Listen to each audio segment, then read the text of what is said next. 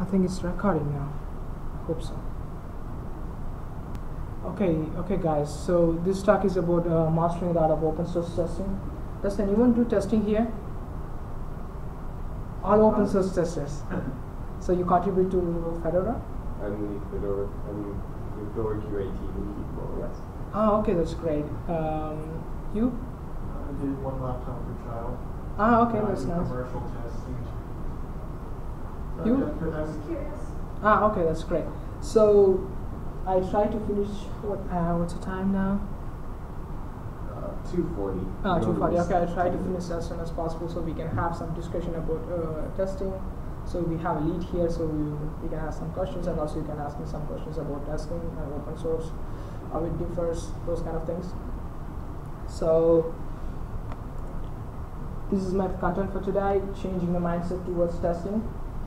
Um, then flexible model to support your testing and plan your testing activities with uh, different tool sets. Then uh, finally, I'm finally I'm gonna conclude the today's talk. Okay, changing your uh, changing the mindset towards testing. So, yeah, why we have to change the mindset towards testing? Because um, testing is completely different what it was in like 20 years back than now. Because the softwares have changed lot over the period of time, and especially when it comes to open source, we don't have requirements, we don't have any other documents. All we have to do is we have to look for a bugs, but uh, look for a bugs is so narrow. It is like very hard to find a bugs, and also when we look for like uh, things like confirming the software works as expected, this is so so vague as well. But we, we have to know what is expected. But in open source, that's kind of hard to find, and even in the commercial areas, it's very hard to find. So if you see in the graph that the the things what we are looking for through scripted testing, whether it is through test cases or uh, the things from the requirements or uh, from the developer's point of view, all those bugs they are sitting in the things are in the box. But if you see, there are three other things they are outside. The most of the bugs they are outside the box, so we have to look for that one because what we are looking here is we are looking at the product itself. We are not looking at the human factor associated with the product. That's the key area we have to concentrate on. So that, that's that, that's a key thing. So uh, one more thing is for me the testing is a process of gathering informations valuable informations. So these informations can vary a lot. So it's it's it's also a process how do you gather informations?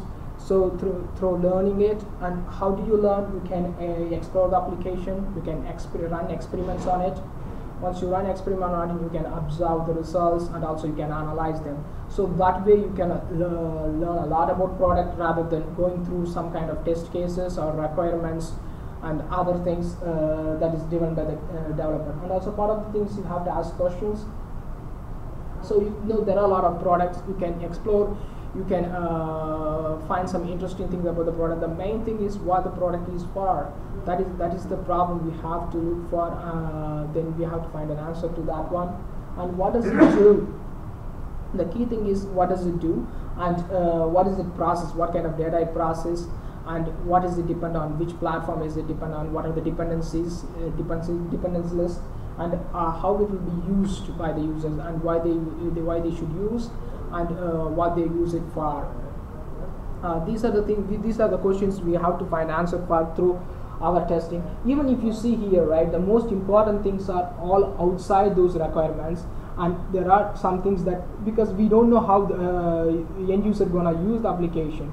And also other important thing is we also also have to accommodate the people who are involved in the projects like uh, testers for them we have to have the feature for testability log uh, such as log files and also how they're going to monitor the the process of certain uh, transactions. All those things we have to accommodate those uh, accommodate. And also we have to look for the marketing feature of the application so the flexible flexible model uh, to support your testing because um, we can explore the application but we can explore for uh, years but still we will not have any kind of uh, information. So one of the models uh, I, I find it quite interesting is I use them quite a lot. Is I I take a little bit of a part of a future then I run exploration I try to learn those uh, futures then I create a test charters for them So mm, then once I create the test charters, then I can create test ideas for the whole test charters. What are the available in the futures? Then I can execute them. Then uh, we can analyze the results whether the the product is usable for the end user or what. All right. So um, here exploring and the learning is uh, is just a two process but there are ways you can explore. So one of them is touring. So uh, it is um, mnemonics that is developed by Michael Kelly. so the, the purpose of the touring is to understand how the system works or the future work and uh, and also to create a mental model how the system works to make the other people understand how the system works. And also to you for you to create a, a list of uh, controls components that you come across. Because when you go through a touring you, will able to see a lot of things like um, let's take example of uh, mozilla's uh, preference component. You will see general security privacy and also they have certain features attached to it right? So you can uh, you can record them or you know you can you can uh, draw uh, draw a diagram of them or you can uh, do a screenshot. Mind map so what are the ways you can uh, do them uh, record them so that you can create test ideas for them later that you can uh, execute them you know once you are in the final state? So these are the aspects of the software that you can go for tools. Like the first one is the future tool. So in open source it's quite vague and also you cannot go for all the features. The features are so there are a lot of features.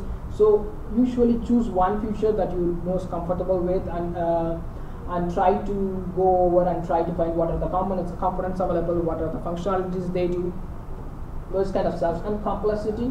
So look for what are the top five complexity for those feature. If it is uh, complexity why it is complexity and what is it con- uh, consist of how it is built uh, ask questions and uh, record them in, in, in any other format that you like. And also the claims so what the product claims to be what it says uh, it does. Um, again the mozilla uh, preference component it says uh, customized controls uh, options and also add-ons. So does it really help us to do that? So th- those are the claims you have to find it. Configurations you have to identify the um, the things that the applications store uh, in the store the changes that you make. For example you can uh, change the preference component uh, you want the home page uh, to be google.com then how it saves and how it can change the different things of the home setting and also the privacy and also the application settings. You have to check that one. The next is user tours. Again the user tool is like you have to list five top users who gonna use it how they're gonna use it. For example if you check uh, um, bash script uh, i just show you the next one. Uh, so i just the small uh, bash shell excel terminal how what are these things? If you check the users who will use it there are like linux os users system admin there are programmers computer professionals and students so each of them have different uh, requirement for the, the, the, the terminal itself. Some of them just run the ls command to go around cs uh, cd command. But there are some uh, programmers they will try to execute some shell scripts.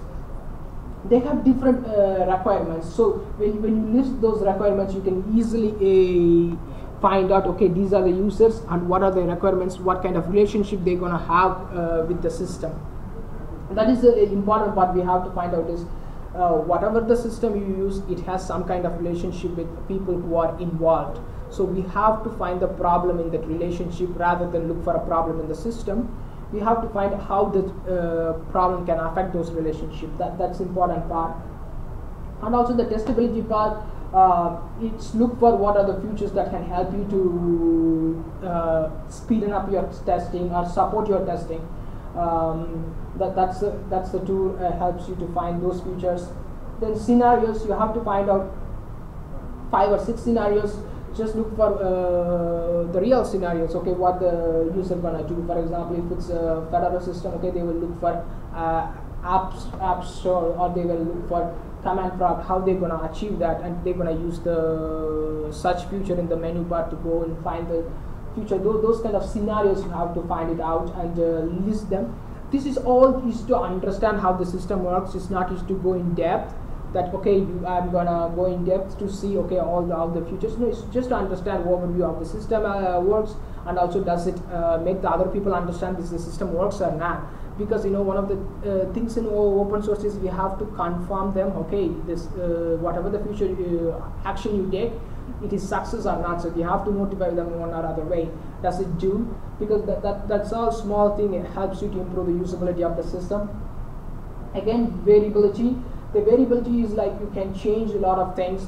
For example change uh, things in the what we can um, in the firefox let's let me think so you can change a lot of uh, small things that can change the whole overall structure of the firefox just uh, clear the cache of the firefox right that's a small variable it has a whole effect on the applications try to use some um, features already have the cache in the Firefox browser. Try to use them in the incognito and see how it uh, affects that part.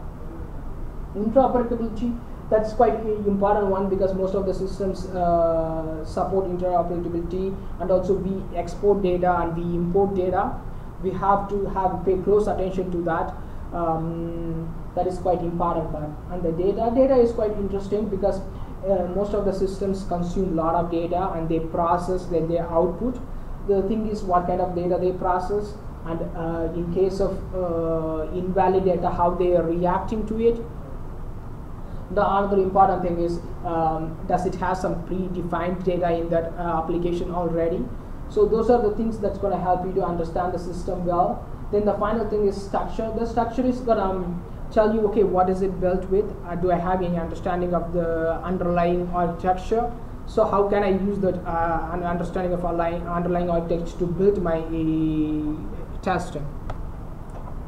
Right, this is just an overview. This just gives me what are the components there, how I'm gonna, from there, how I'm gonna create uh, test ideas for the whole test items that I have listed here, right? So here you can see that um, I used uh, the structure function data platform and the operations mnemonics to I have identified the test items and also to find the test ideas for each items. Some of them, uh, if you see, some of them I have questions. Some of them, even though I don't have experience much, so what I will do is I'll just put the uh, compatibility, usability time. Those things I, I, can ask, or I can just uh, ask for in general how the things gonna be like. It's not, it's not much of a extreme uh, hard work but it's just using those techniques to find the items and from then where there you can find test uh, testing ideas and you can execute them right so th uh, this is one of the programs I did for today. This is a telegram. It's just for test ideas. But unfortunately can you see this? It's a little small. ah okay. So uh, this is just uh, test ideas for the, all the components. Just for the uh, setting I just take the state of uh, when you go to setting it, it blocks you from uh, sending the messages and stuff. So it's in that state. Uh, unfortunately I cannot change the enlarge the picture I'm sorry. So it completely gives you a different idea. For you know there are a lot of I- test test items. For those test, test items I created the test ideas. Then how they are depend on each other. So this is just a small mind map but um, it, it is very useful because uh, in uh, open source testing you don't need to have any kind of process or document filling up. So it is uh, even if you after like three weeks you come back you, you can get around okay this was the thing I was doing. It will be re- really useful uh, the another thing is test status it's kind of uh, test case but it is not. But the thing is it gives you uh, for example if you have like 30 minutes to 45 minutes you can use uh, test status to run your test. Basically what it says is um, explore the target. The target is uh, which part of uh, application you are going to test. And also with what resources what kind of tools and techniques data or you, you have already some kind of prescribed uh, data sets. So th- those are the things and to discover what kind of information to discover because this gives you a mission so that you will not deviate from you know basically when you go on test you always you will uh, move from your mission right? You know when you started testing you know you move to the other test items and you miss this one. So this one is completely gives you complete control and also one one area to focus is uh, it is amazing. This is uh, developed by elizabeth. I, I use quite a lot in open source testing this is also a very useful uh, test idea. Um, if you see here right uh, just to give you example of this test charters um, you, you have that profile editing uh, page here. If you see is uh, there are uh, test uh, if you test item there are um, there are two text boxes. You have email address and also you have uh, choo- choose file and save options right? So but the thing is it's not about going over one by one but what it says is it's exploring the whole um, profile editing feature with data whatever the data you have so you may you may say okay i have uh, i wanted to do injection uh, security vulnerability testing. So you can say okay i'm going to do security vulnerability testing but what kind of resources you have? So if you, if you say security vulnerability testing there are a lot but when you check there are text fields you can do uh, injection testing right? So uh, i'm going to explore uh, profile editing with injection testing uh, to discover vulnerability testing so what this basically does is it gives you a broad but it's not too broad and also it is not too narrow. So you can spend like uh, 25 minutes to 45 minutes that range. You, uh, and also uh, when you are testing you can take notes uh, with, uh, you can take uh, notes during the testing. It will be more useful you know when you come back or when if you want to share it with somebody else. This is a great idea, idea. we tried with um, in mozilla we had a program it worked a little bit good because um, we were three open source testers and also the developers were working on the project so rather than uh, creating a test cases and uploading it in the MozTrap, we said, okay, let's try this um, test charters. It was working so good because um, it takes like 30 to 45 minutes. The one person can concentrate on one part, and also he can create a lot of test ideas and also test items. This was very helpful. But if you- if you um, if you want to have a look at that one, this uh, test charters. See, exploring um, editing profile with injection attack to discover security vulnerability and also you, you, this is just one part of uh, security vulnerability but you can run a lot of uh, other testings for example uh, explore editing feature uh, to discover uh, with valid uh, first name last name and email address to discover the functionality of the future right? The editing future. so you know you can create 10 uh, different type of te- test charters um, and to cover to cover the whole pay, no whole future.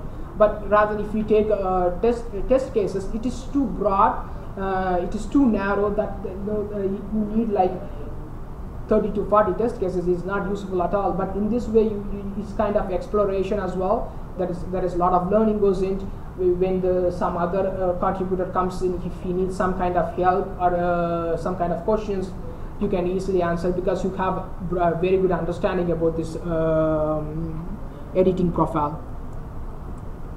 So planning so whenever whatever activity you do one of the things i find it is if you don't plan it's it's it's uh, getting you know you, you can't track and measure what, what are your testing efforts because um, when i when i started i all the time i start testing i testing testing but the, most of the time I, if i don't find a bug or if i don't um, even if i find I, I report two bugs I feel like I have spent too much time, but with only only two bugs, it's I feel like okay, this is not much contribution at all. So after that, then I decided okay, let's plan even if you for a five or ten minutes. So basically, I, what I do is I explore all the applications uh, and create test charters, even if it's for one day or uh, two days. I create them first. Then after that, I come back to execute. When I execute, I always keep the time box. Okay, today I'm going to execute only for uh, 30 minutes, only one uh, test chapters. So I, uh, I choose which uh, the session notes. I choose which one is it and what are the test notes. Okay, I explore this area. I feel it is fine or not fine, and also I have to explore the other part of the area. I didn't have time today. So all those things goes to the test notes and also the views. What are the things I see when I test? What are the things I see in the test charters? For, for example, if you take the profile editing page, I see okay I see the first name last name the email address that is a change uh, option there and also you have uh, you can upload a lot of details. Those all those items will be in the view uh, view under the view. The risk, risks will be the again the SQL injections because uh, you have like a lot of uh, fields text fields in there. And also you have upload options. You, know if what what will happens if the user uploads like more than like 10 GB of data into it, how it's gonna react to the that that big upload. The next the bugs, whatever the bugs I find, I just uh, put it in my session. After the, my session is finished, then I uh, add it to the Bugzilla or some other bug reporting system. Always, you know, when you do this kind of session, you will have questions. So I will put them under the question sections. Then I can ask them in IRC or in uh, some other Telegram or whatever. So debriefing. th- This is one of the things I, I find it interesting because whenever you do session, it's it's always nice to look back at your session and the session notes to see okay where you lacked and what are the areas you can improve during that time. Because it's uh, it's not always the it sounds may easy, but when you start doing, it's not the same. You have a lot of obstacles comes in and also you deviate from your test charters a little bit and also other things. So it's always good to look back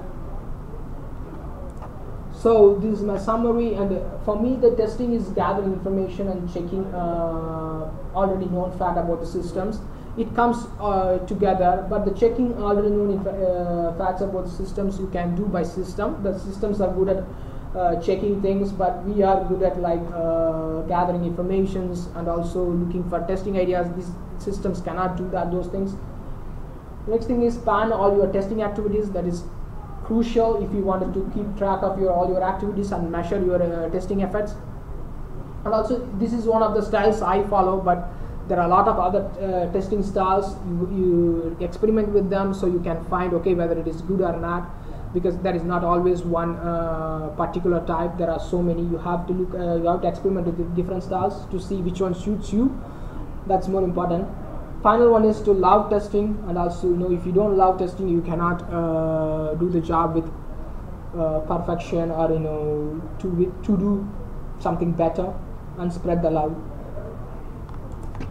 thank you and uh, if you have any questions you can ask me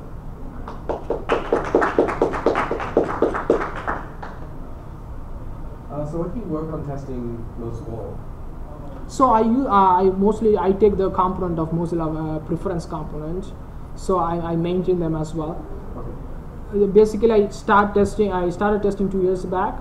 Then I first I started running test cases. I did not find it. I, I was not happy with that. Then I started testing. Okay, let's move. Uh, not running the test cases. Let's test. I test, but I was not like really organized. I was testing one part. I was moving to other part. I had like ten components, but I, I did not find it myself happy. Then uh, I started using some kind of process. Then first I used let's just uh, test one component to see but when I test one component but I don't have uh, that much memory power to register all the uh, items in that those components so then I started using mind map from then then I started using the different mnemonics to differentiate those components then I create test ideas then I keep the test ideas then one, uh, one Saturday and Sunday I execute those test ideas then I report those bugs this is what I basically do now Um, I got more questions if anyone else has any. Um, do you, since this is open source testing, have you come up with any uh, processes or systems for publishing? Because this is basically about uh, your approach to planning um, exploratory testing. Right? So have you come up with a way to publish your plans for other people to use? Yeah, uh, no, I, I already uh, sending this those kind of plans to uh, people in the community, in the most especially in the Mozilla community. We had like uh, two meetings already in the Mozilla community. We we train testers, so we give them this kind of ideas just an, as an uh, rough plan. Right. So what they basically do is they they like to choo- take what they like and what they suit them basically because you know it is not going to work for all of them because it, Right. it, you know it, requires a lot of effort Yeah. the, especially the planning stage executing is the easiest part before that you have a lot of planning you have to explore each component for me now it's easy because i already explored and planned the preference component of Mozi- uh, mozilla so i have already in place if Yeah. there is some changes happens i add the little bit to already existing one then i create test ideas for that then uh, i run the test cases that's that's the simple part but if you are coming in new it's a lot of effort at Right. least you need a month Yeah. to get this So what I'm what I'm wondering is if you like is do you have like a store or you use a wiki or mailing list or something and you can keep these test plans there so when new people arrive you can say hey we have this plan for this component but no one's tested it yet. Maybe you can yeah that, that that's the, that's where we are trying to go but the thing is uh, you know in open source it's very hard especially in wiki we, I, I try to add as much as possible and also we don't have that much uh, area for you know including these methodologies or those kind of things. You know we have very basic stuff but we, we, we try to you know we are going there. That, that's where our uh, goal is.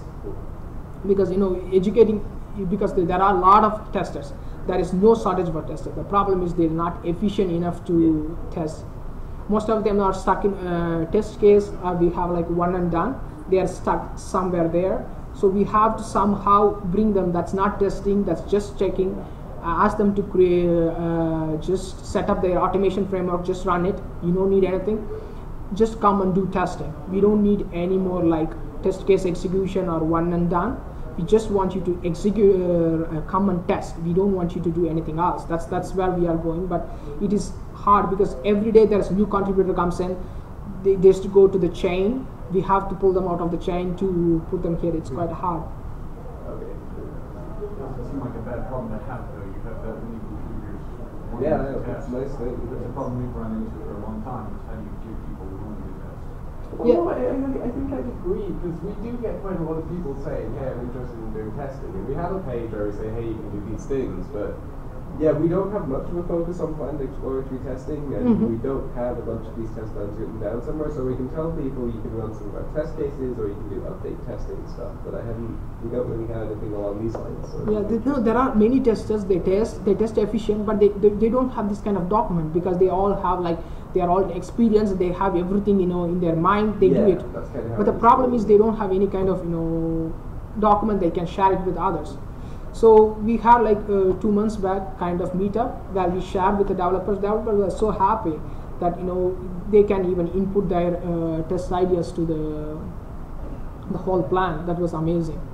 Then I thought, okay, you know, I have it. Okay, let's share it to other people. If you know, the, mm, the important thing in meeting, uh, coming to conference is learning from others. Like, if you are testing for some time, you will always have some input to add it to the whole testing process.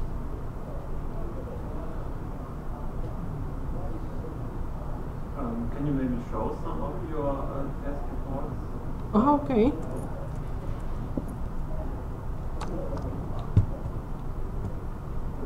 You know, when I plug this one, it one goes black. I can only see the, this screen.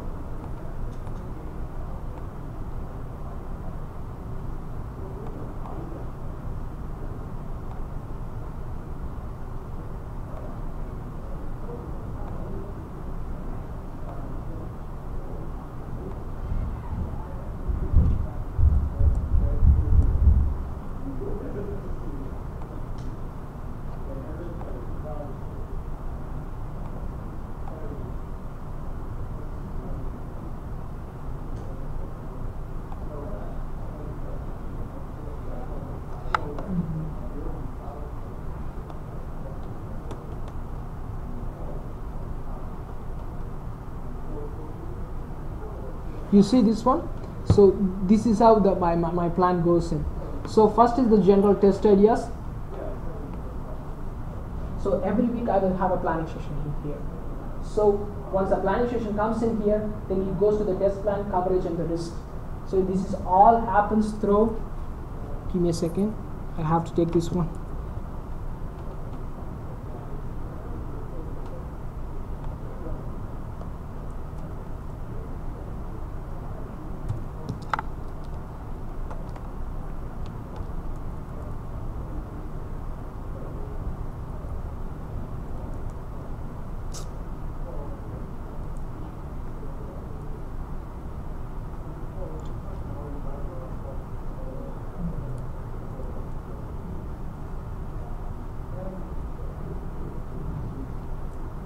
see first it goes through the touring phase. Whatever the new new new future comes in right? That first it goes to the okay i'm, I'm to stop this one. This is a touring phase. This is the test identifying the test item phase right? So i'm going to okay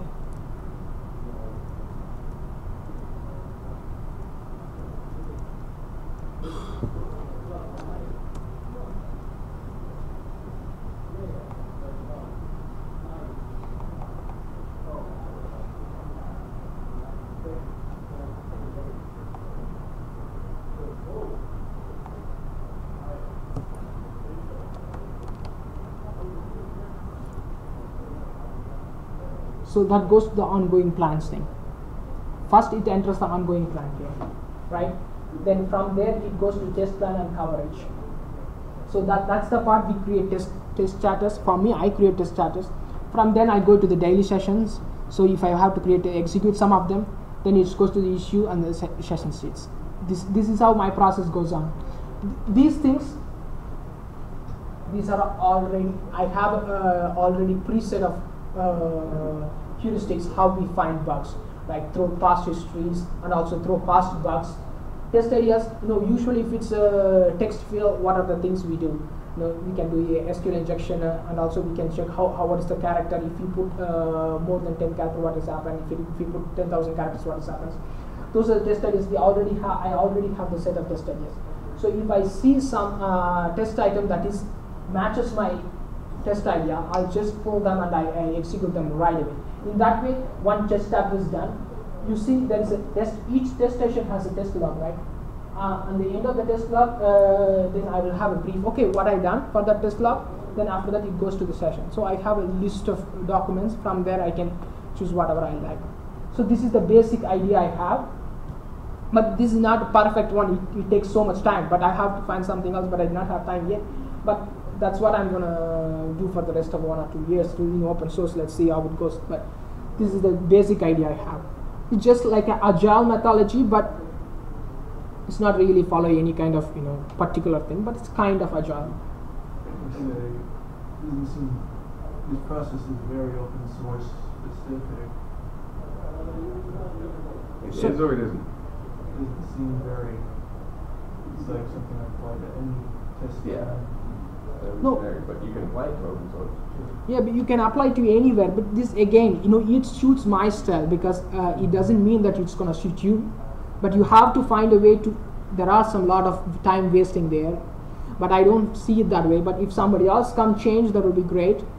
And if you guys share it with me, I will love that. I know, I know my company is currently enamored with graphical test planning.